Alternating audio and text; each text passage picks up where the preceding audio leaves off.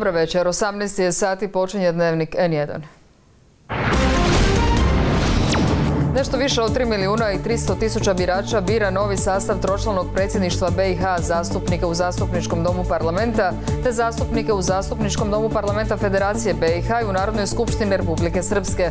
Nikad više kandidata za različite pozicije. Evo što još izdvajamo.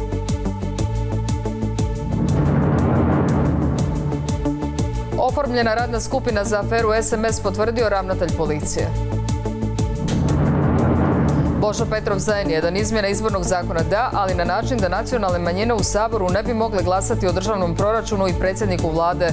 Time bi se spriječilo da nacionalne manjine budu žrtve političke trgovine. Na današnji dan 1991. JNA raketirala Banske dvore. Cilj napada bio je ubiti hrvatskog predsjednika Franju Tuđmana, a radi potpunog uništenja političkog vodstva Hrvatske i sloma borbenog morala. Još jedna Trumpova pobjeda. Njegov kandidat Brett Kavanaugh izabran za suca Vrhovnog suda unatoč optužbama za seksualno zlostavljanje u mladosti.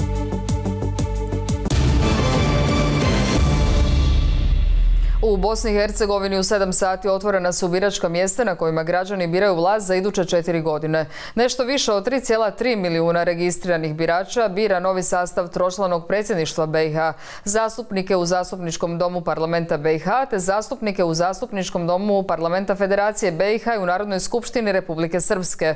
Biraju se i predsjednik i potpredsjednik Republike Srpske kao i zastupnici u skupštinama 10 kantona Federacije. Idemo odmah u Sarajevo gdje je naša reporterka Aida Hadži Musić, a i da proteklih godina izlaznost nije bila visoka kako je ove godine i jesu li tijekom glasanja zabilježeni ikakvi incidenti? Prema informacijama, posljednjim informacijama Centralne izborne komisije, do 15 sati je na izbore izašlo 37,21 e, birača, što je nešto neznatno više u odnosu na e, isti period na opštim izborima 2014. godine. Međutim, e, konačni podaci o izlaznosti bit će poznati nakon zatvaranja biračkih mjesta. Ono što možemo reći je da je na opštim izborima 2014. godine izlaznost bila 54,4, a slično je bilo i u dva prethodna izborna ciklusa, dakle 2010. godine i 2006. godine, kada je na izbore izašlo nešto više od 55% građana Bosne i Hercegovine. Predsjednik izborne komisije Branko Petrić kaže kako se očekuje da izlaznost ove godine zapravo bude slična e, kao i prethodnih godina. Ono što možemo reći kada su u pitanju incidenti prema informacijama iz Centralne izborne komisije je da je zabilježeno ukupno osam incidenata, no neznačajnijih, uglavnom zbog vrijeđanja na biračkim mjestima. Nešto ozbiljni incident desio se u Bijeljini na jednom biračkom mjestu gdje je zbog tuče glasanje prekinuto na sat vremena. No, e, u nevladinoj organizaciji koalicije pod lupom kažu da je do 14 sati zabilježeno ukupno 240 e, kritičnih situacija što se odnosi e, na e, različite sukobe na biračkim mjestima, utjecaj na birače i brojne nepravilnosti tokom samog glasanja. Evo izjave predsjednika Centralne izborne komisije Branka Petrića. Sa zadovoljstvom mogu reći da su jutros prema planu i prema propisima i našem planu za provođenje izbora otvorena sva biračka mjesta u Bosni i Hercegovini i time da demantujemo sve ona juče i prekjuče iznasana neistine da je izborni proces ugrožen, da opštinske gradske izborne komisije navodno nisu obavile u potpunosti svoj zadatak imenovanjem biračkih odbora, Glasanje i brojanje biračkih listića nadzire 6500 promatrača iz nevladinih organizacija i institucija, uključujući 1500 iz inozemstva, a i sve političke stranke koje sudjeluju na izborima također su delegirale svoje promatrača, njih čak 60 tisuća, je li tako, Aida? Upravo tako procjenjuje se zapravo da je taj broj posmatrača na izborima čak i veći od 60.000 e, i radi se o različitim e, vrstama posmatrača, posmatrača različitih nevladinih organizacija, udruženja građana, međunarodnih organizacija političkih subjekata e, i kao što sam rekla, dakle radi se o više od 60.000 posmatrača na izborima. Sama centralna izborna komisija je akreditovala otprilike 6.500 posmatrača od čega 5,5 hiljada različita udruženja građana i oko 650 raznih međunarodnih organizacija. Veliki broj posmatrača uopšte, posmatrača uopšte, nije iznenađenje s obzirom na to da je netačnost i neažur, neažuriranost biračkog spiska u Bosni i Hercegovini bila zaista velika tema i uoči samih opštih izbora na stotine eh, je bilo prijava građana da je neko već glasao u njihovo ime u inostranstvu. Eh, na stotine imena umrlih osoba pojavilo se također na biračkim spiskovima, a odbijeni su zahtjevi za glasanje na hiljade eh, glasača iz inostranstva, što se odnosi najviše na Srbiju i na Hrvatsku. No, nakon 19 sati kada se birališta zatvore, kada se mogu očekivati prvi neslužbeni rezultati? U skladu sa izbornim zakonom Bosne i Hercegovine prve preliminarne i nezvanične rezultate zapravo već e, možemo očekivati u 24 sata, dakle danas na dan izbora.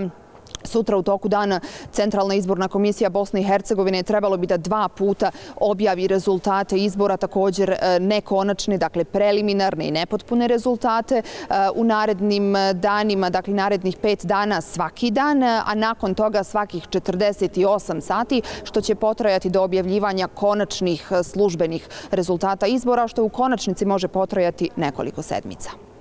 Hvala ti Aida. Aida Hadži Musić javila nam se u živo iz Sarajeva.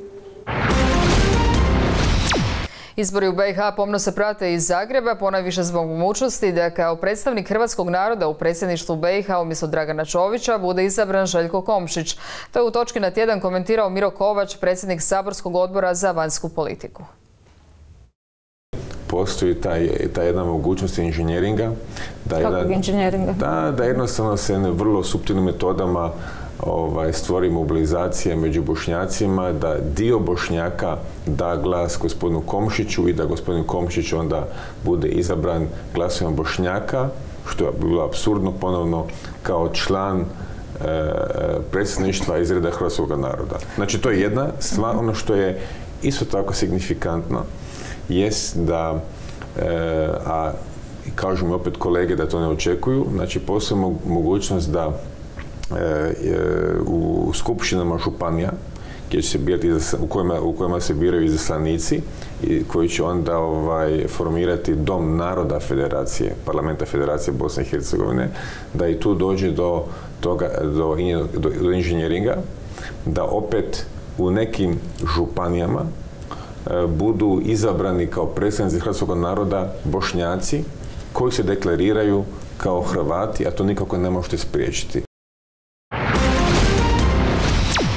MOL je spreman Hrvatskoj prodati dionice INE ako to Zagreb želi, a MOL je od preuzimanja INE smanjio troškove poslovanja za 300 milijuna eura, što nekomu smeta jer je izgubio novac. Rekao je to bez navođenja imena šef mađarskog MOLA Žolt Hernadi u intervju koji je dao mađarskoj televiziji TV2. Hernadi se požalio i kako zbog europskog uhidbenog naloga kojeg je Hrvatska raspisala jer mu uskoro počinje suditi u odsutnosti zajedno s Ivom Sanaderom u aferi INA MOL ne može putovati. Mađarska nam je taj nalog odbila, no on je aktivan u drugim zemljama Europske unije. Hernad je dodao kako će Budimpešta sada objašnjavati ostalim članicama Europske unije odluku Mađarskog suda. Osnovana je policijska radna skupina koja se bavi kompromitacijom istraga, odnosno curenjem informacija u aferi SMS, ali čini se i ono iz 2011. Istovremeno, tužiteljstvo rekonstruira spis koji je nestao, zbog čega se provodi unutarnji nadzor. Zbog svih skandala koji su se posljednje vrijeme otkrili, oporba optužuje HDZ da koristi institucije za unutar stranački obračun s Miljanom Brkićem, a HDZ govori da ništa od toga nema veze sa strankom. Ministar Božinović poručuje da postoji politička volja da se sve rasvjetli. Vanja Kranic. Aferu SMS već danima istražuje posebno imenovan policijski tim. Usmjeren je na najnovije curenje informacija Blažu Curiću koji je nedavno uhićen pod sumnjom da je upozorio Franju Vargu da mu je policija za petama. Ali čini se i kompromitaciju istrage iz 2011. godine. Mogu vam reći da je oformljena i posebna radna skupina što se tiče i kompromitacije i posebnih dokaznih radnji i budite uvjereni Hrvatska policija će napraviti sve što je u njenoj nadležnosti. Nakon nevjerojatnog nestanka spisa iz Općinskog državnog odvjetništva koji se bavi curenjem tajnih informacija u istrazi elitne prostitucije 2011. on je u rekonstrukciji. Uskoro bi se tako u istim koricama trebale naći i operativne bilješke policije u kojima svjedoci spominju ime Milijana Brkića kao osobu koja je informacije odala, ali i iskazi se suda istih svjedoka koji ga više ne spominju. Policija i tada sve informacije do kojih je došla u operativnom radu dostavila tada nadležnom državnom odvjetništvu tako da ćemo i sada u suradnji s odvjetništvom dakle, ponovno dostaviti sve te operativne informacije koje imamo. Glavni državni odvjetnik Jelenic sasvim sigurno u pomoć za rekonstrukciju će pozvati i aktualne i bivše zaposlenike tužiteljstva koji su mogli imati veze sa spisom, a provešće i unutarnju kontrolu kako bi se otkrilo kako je spis nestao. Za sad se taj nestanak tretira kao nemar. Tek kada sve to bude gotovo vidjet će se postoji li temelj za propitivanje je li išta 2011. godine zataškano. No curenje informacija niti tada, a niti ovo najnovije nije prvi puta. Kako na to gleda ministar obrane koji često govori o nacionalnoj sigurnosti? Pa danas smo na hodočašću, razumite me. Mislim da je danas taj dan za Hrvatsku vojsku i to je za mene danas najbitniji. I dok ministar Krstičević u Mariji Bistrici ponovno ništa nije htio komentirati, njegov pravosudni kolega Bošnjaković već je nekoliko puta spomenuo potrebu boljeg uređenja i provjere onih koji tajne mjere provode, a civilni sektor već godinama ističe kako ne postoji niti adekvatan građanski nadzor. Bilo je nekoliko pokušaja koji se nisu pokazali u praksi. Mi sad idemo sa izmjenama zakona gdje ćemo ponuditi e, da oni građani koji bi sudjelovali u građanskom nadzoru zato dobivaju određena primanja, odnosno e, neku vrstu nadoknade. Plaćanje ljudima koji rade po prijavama građana nije loša ideja, kaže aktivist za ljudska prava Gordan Bosanac, no pojašnjava da ministar misli na povjerenstvo koje nema ovlast baviti se s tajnim mjerama. Ovo o čemu sada je MUP stavio e, prijedlog izmjena se samo odnosi na zakonito postupanje policije minus tajne mjere. E, povjerenstvo koje bi trebalo, građansko koje bi trebalo gledati tajne mjere, regulirano je drugim zakonom. Ono se nikada nije oformilo, niti znamo u kojem je ono sada trenutku oformljivanja ili nije. Dakle, tu je potpuna rupa i to je ono što mi godinama upozoravamo da je policija potpuno bez ikakvog adekvatnog građanskog nadzora. Bosanac ističe kako Saborski odbor za unutarnju politiku već ima ovlasti ući u MUP i sve provjeriti, a mnoge oporbene stranke zazivaju povjerenstvo koje će istražiti obje afere koje su buknule posljednjih tjedana i u kojima se spominje ime Milijana Brkića. Hoće li pregovarati i s nekima u većini da povjerenstvo podrži? Ja mogu samo apelirati na, na njihov moral. Ali pitanje kakav je e, njihov moral, dosta njih bori za svoje fotelje.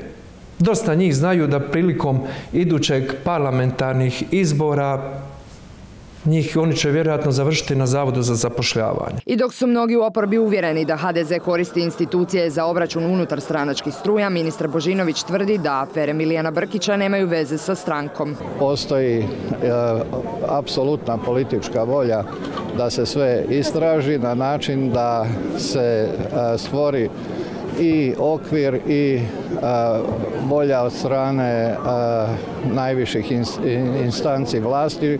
Trenutno je ključno pitanje, barem kada je afera SMS u pitanju sustava koji istragu provodi javio vozaču ministra Tolušića i kumu Milijana Brkića da je policija na tragu Franji Vargi. Vanja Kranic, N1, Zagreb. Gostujući u točki na tjedan, potpredsjednik Hrvatskog sabora Božo Petrov još jednom je istaknuo kako podržava ideju referendumske inicijative Narod odlučuje, kom bi se izmijenio izvorni zakon na način da nacionalna manjina u saboru ne bi mogle glasati o državnom proračunu i predsjedniku vlade. Petrov objašnjava kako prijedlog podržava jer bi se time spriječilo da nacionalne manjine budu žrtve političke trgovine prevelika težina, bez obzira koliko me radi toga napadali, prevelika težina na leđima upravo zastupnika nacionalnih manjina. Smatram da bi predstavnici nacionalnih manjina trebali biti u Saboru, trebali se boriti za prava svojih ljudi koji su im dali mogućnost da ih zastupaju u Hrvatskom saboru, ali da biraju predsjednika vlade, da glasuju za državni proračun, njih stavlja u nezgodnu situaciju. Njih stavlja u, situaciju da oni moraju trčati od vlade do vlade da bi bili u vlasti. Što je po meni nepotrebno, pogotovo upravo za te nacionalne manjine koji se onda obilježava na određen način, stigmatizira i na kraju htjeli ne htjeli se pretvore u žrtve. To nije potrebno. To je bio razlog zbog čega sam ja inzistirao da ako imamo dovoljno glasova da biramo predsjednika vlade i da glasujemo o državnom proračunu neovisno o nekome drugom, a da pa će, razgovarao jesam i sa predstavnicima nacionalnih manjina i glede njihovih zahtjeva, što bi njima bilo dobro upravo za te ljude koji oni predstavljaju i bilo bi mi drago da oni u Saboru glasuju upravo za ove zakone koje vlada donese da time davaju potporu, jer to znači da smo na pravome putu. Dobro, ne bi li oni bili onda nekakvi saborski zastupnici drugog reda? Zašto ne bi imali ista... Znači, vi se slažete s ovim inicijativama, očito referendumskim, koje upravo traže promjenu izbornog sustava, koji su između ostalog okrenuti i prema ovim manjinskim pitanjima na način da to ustavni stručnjaci isto dovode u pitanje, smatraju da je to atak na, na, na prava manjina.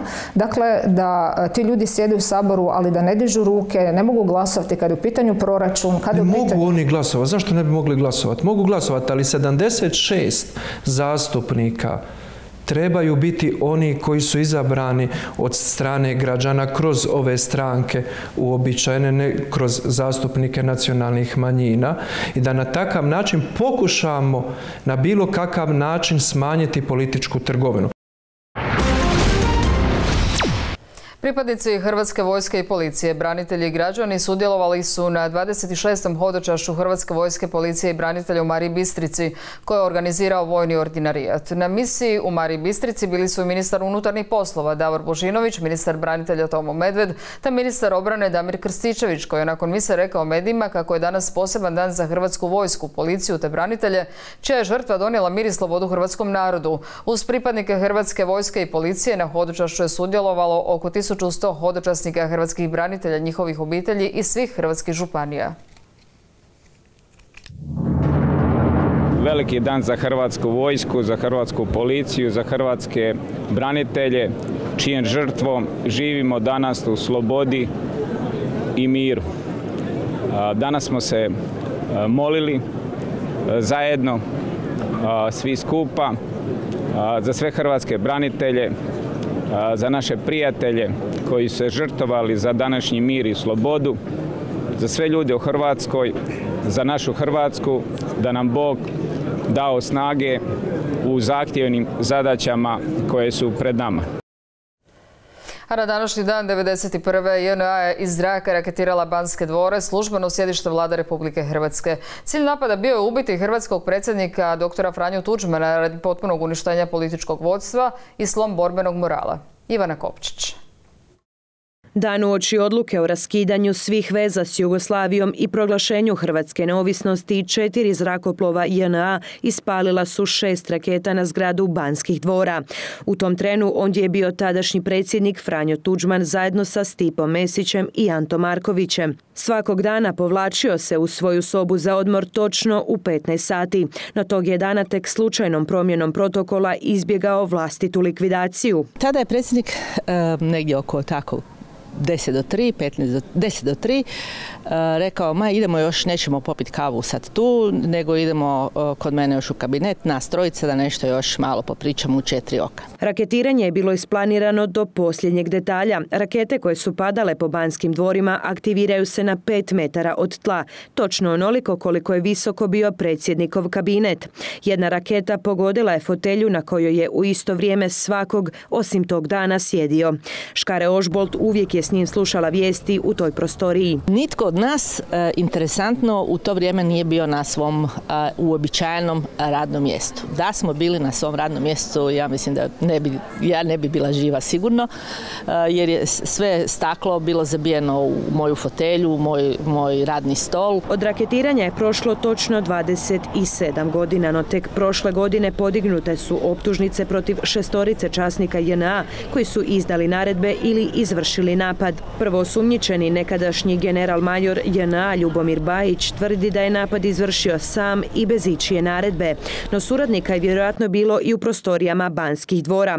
Na dan napada dio zaposlenika nije došao na posao, a niti ikada kasnije. Kao što je tada kazao predsjednik Tuđman, ne da nisu uspjeli, nego su postigli upravo suprotan efekt, a to je potpuno jedinstvo, nikad jače jedinstvo hrvatskog naroda koje nas je na kraju dovelo do pobjede. Iz Beograda su godinama stizali navodi da se nikakav napad nije dogodio, te da je Hrvatska raketiranje iscenirala kako bi dobila političke bodove tijekom izbijanja rata. Znamo da je na Hrvatsku izvršena brutalna velikosrpska agresija i upravo zajedništvom hrvatskog naroda smo se obranili i hvala Bogu kasnije oslobodili Hrvatsku i danas živimo u miru i u slobodi i to je nešto posebno. Nakon napada Franjo Tuđman izgledao je mirno i staloženo.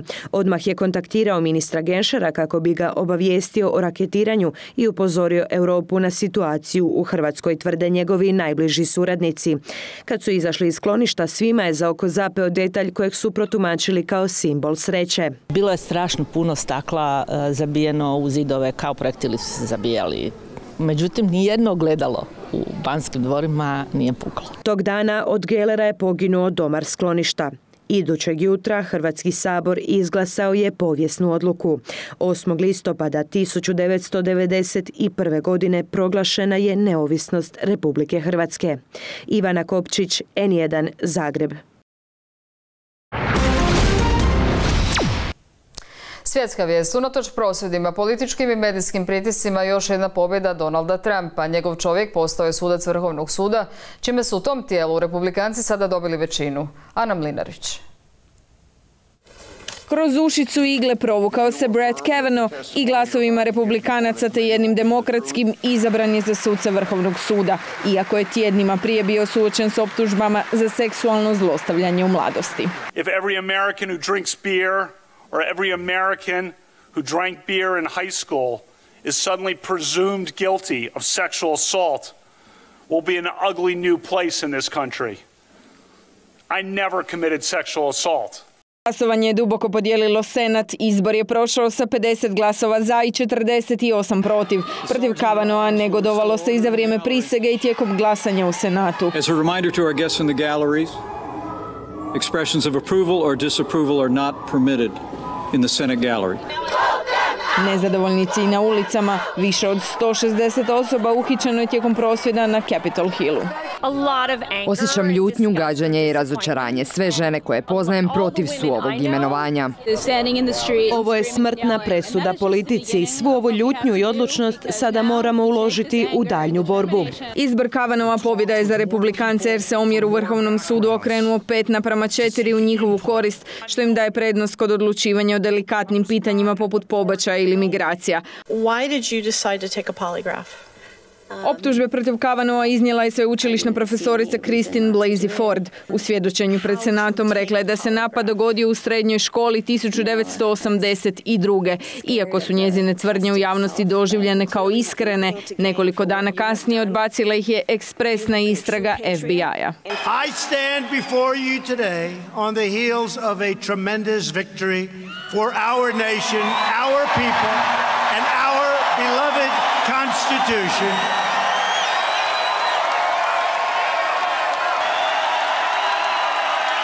And I want to thank our incredible Republican senators for refusing to back down in the face of the Democrats' shameless campaign of political and personal destruction. Odnos demokrata i republikanaca tako se samo mjesec dana prije izbora za kongres u kojem republikanci drže većinu dodatno užario. Trump također u kampanji samouvjereno poručuje. On November 6 You will have the chance to stop the radical Democrats, and that's what they've become, by electing a Republican House and a Republican Senate. We will increase our majorities.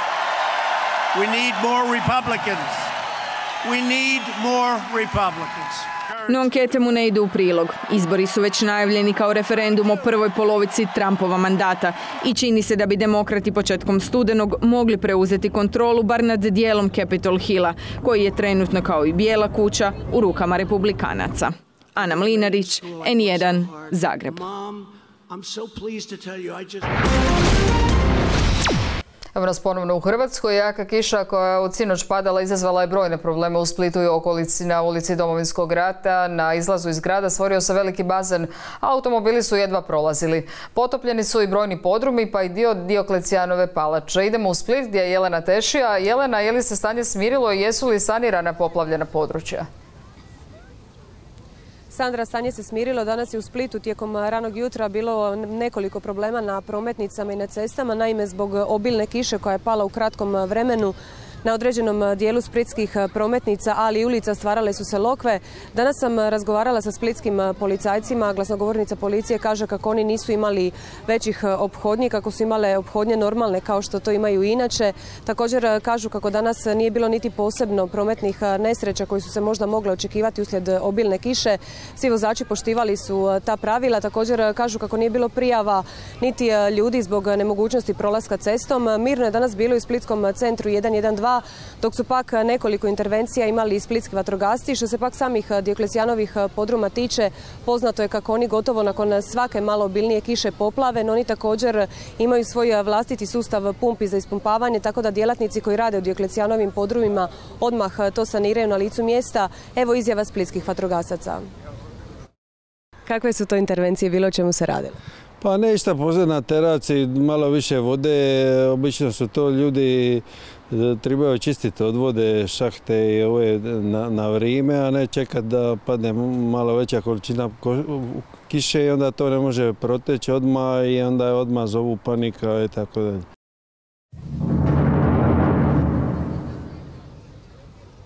Nešto iza 12 sati u Splitu se potpuno razvedrilo, sunce je zasjelo, tako da su brojni Spličani iskoristili ovo nedjeljno popodne za uživanje i za odmor u sunce i more. Također, kako možete vidjeti sada iza mojih leđa, još uvijek je velik broj ljudi ovdje na Splitskoj rivi, kako domaćih, tako i stranaca.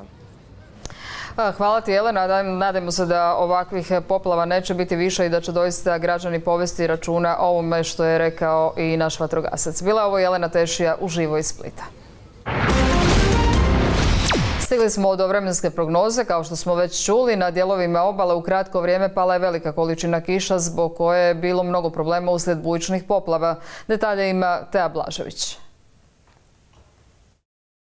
Lijep pozdrav, dragi gledatelji. Kiša jutros neumoljivo padala na moru i doslovno potopila uže i šire područje grada Splita. U svega šest sati splitsko područje prema službenim podacima zasulo je čak 67 litara kiše po metru četvornom. Obilna oborina stvorila je bujice na cestama na kojima su se našle i kamene gromade kao što možete vidjeti na fotografiji iza mene. Vozači svakako budite oprezni. Treba još računati na kišu i pljuskove i u noći to uglavnom u unutrašnjosti, ali i u Dalmaciji, dok će na sjevernom i srednjem dijelu Jadrana biti poluoblačno. Sutra će se oblaci prorijediti duž većeg dijela obale, gdje još može biti slabe oborine, kao i na kopnu, i to osobito u prvom dijelu dana. Kasnije, poslije podne i navečer, postupno će se razvedravati i unutrašnjosti. Iako ćemo još pričekati na razvedravanje, na kopnu će od jutra biti mirno uz gotovo zanemariv vjetar. Dužo obale će puhati bura i sjeverozapadnjak slabim ili eventualno umjerenim intenzitetom. Strujenje će definirati temperature i one će u noći i ujutro biti uglavnom u rasponu od 10 do 14 vidimo na kopnu, više duž same obale većinom od 16 do 19. Sutra će na Jadranu broj stupnjeva biti pretežno od 20 do 24 što vrijedi i za Slavoniju i Barenju. Zapadnije na kopnu bit će ugodno uglavnom od 16 do 21. U novom tjednu bit će sve toplije kako će biti uglavnom sunčano. Stabilne vremenske prilike u jesen znače i pojavu magle ujutro, ali će danju zato biti sunca u izobilju. Sredinom tjedna dojam bi mogao tako ponegdje biti više ljetni nego jesenski. Dijelove Dalmacije, ali i Slavonji Baranje moglo bi tako grijati visokih 27. Uživajte u babljem ljetu. Dnevnik je gotov, ostanite u ZN1, uskoro se uključujemo u Sarajevski studio gdje je na programu posebna emisija o izborima u BiH Dnevniku 22 za vas priprema Ivana Tarić. Želim vam ugodan nastavak večeri.